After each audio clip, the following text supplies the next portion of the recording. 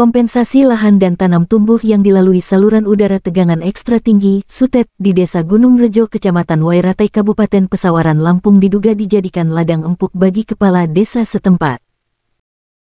Masyarakat yang diduga dijadikan ladang empuk pungutan oleh oknum pemerintahan desa itu meronta dan ingin berteriak sekuat tenaga. Namun apalah daya ke mana kami mengadu tentang adanya dugaan pungutan liar yang dilakoni oleh oknum pemerintahan desa. Beberapa masyarakat desa Gunung Rejo yang namanya tidak ingin disampaikan, menyatakan di hadapan kamera media ini bahwa pemerintahan desa setempat, Subagio dan aparatur yang dipercayai olehnya untuk meminta duit dengan alasan uang rokok. Adapun uang rokok yang telah ditetapkan oleh oknum kepala desa itu sebesar 8% dari anggaran dana kompensasi yang diterima oleh warga.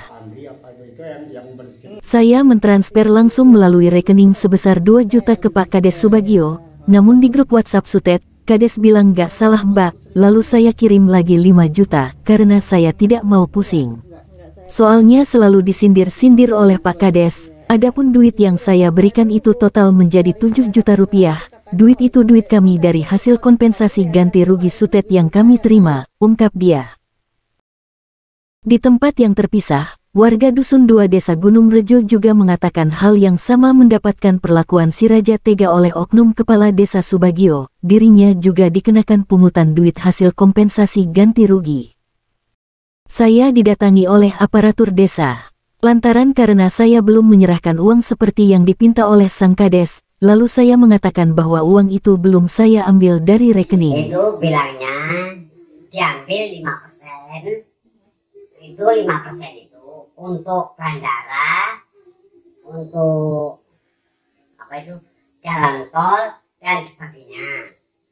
Itu 8 persen diambil desa. 5 juta itu, eh 5 persen itu untuk apa katanya? Untuk bandara, hmm. sama jalan tol hmm. dan sebagainya.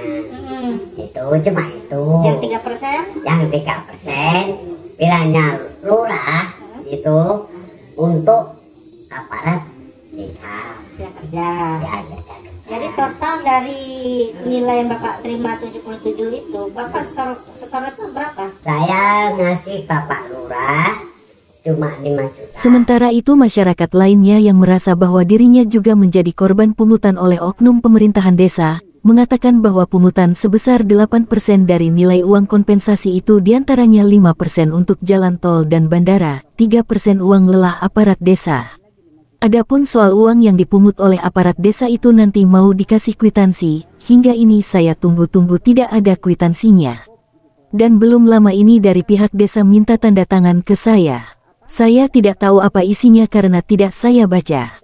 Setelah saya telusuri ternyata surat pernyataan dari desa yang membuat, dan menyatakan bahwa pihak desa tidak pernah memungut soal uang pungutan. Saya bayar itu, tapi duit itu mau kata si pemeran saya sanggup nggak sih itu masih rincian itu duit buat apa buat apa? Gitu.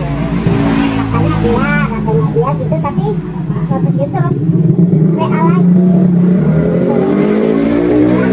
Bilangnya kayak gitu gitu kan. Ya gimana memang itu ya nanti saya bayar tapi kan ada hitungan kedua katanya nanti saya bayar. Tapi dia udah nggak sabar itu minta ibaratnya kayak secara nggak langsung minta tambah lagi gitu. 5 persen saya bayarin. Oh, 5 persen itu berapa? Ya lima persen dari pendapatan si hasil itu. Berapa adanya pak? Jatuhnya sekitar 6 juta sekian. Hampir 7 juta aja saya bantu 7 juta. Oh. itu kan masuk rekening tapi bukan atas nama Pak Lurah atas nama anak buahnya. Siapa yang minta itu? Ya, yang minta. hmm, ya langsung si Pak Lurah itu WA siapa tuh yang Pak Lurah ya Pak Lurahnya ya si bagian di sisi lain Masyarakat yang merasa keberatan atas pungutan yang diberlakukan oleh pemerintahan desa terkait duit kompensasi sutet, dirinya menyatakan bahwa saya hanya memberikan duit 500 ribu. Lebih dari itu saya keberatan, adapun uangnya saya berikan secara langsung kepada Pak Kades Subagio.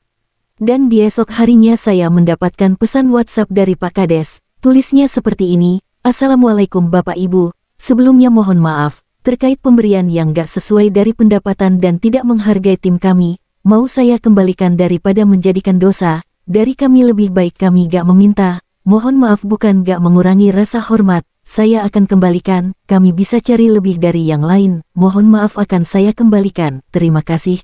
Sementara itu, saat dikonfirmasi terkait dugaan praktek pungutan liar yang dilakukan oleh Kades Gunung Rejo bersama aparaturnya itu menolak keras, bahwa duit yang diterima dari warga sebagai penerima dana kompensasi itu diserahkan secara Itu sukarela. ada tidak Pak dari masyarakat yang memberikan secara langsung melalui transfer atau melalui orang pihak ketiga atau orang perantara ada tidak Pak? Siapa aja orang yang pernah memberikan duit secara langsung kepada Bapak? Berapa orang itu Pak? Waduh kalau itu kayaknya kita agak lupa sebenarnya udah lama sih mas. Tapi ada. Ya ada ya. Melalui melalui transfer ada.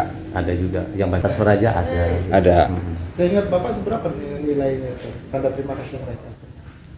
Variasi Pak, ada yang 500, ada yang 700, ada yang 1000 juga. Tapi Dari Gunung Rejo Wei Ratai Pesawaran Tim Bintang 38 melaporkan.